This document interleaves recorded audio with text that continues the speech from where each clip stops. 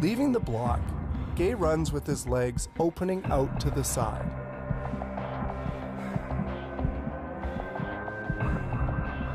By swinging his legs from side to side like a pendulum, he pushes against the ground as forcefully as possible to achieve maximum forward propulsion.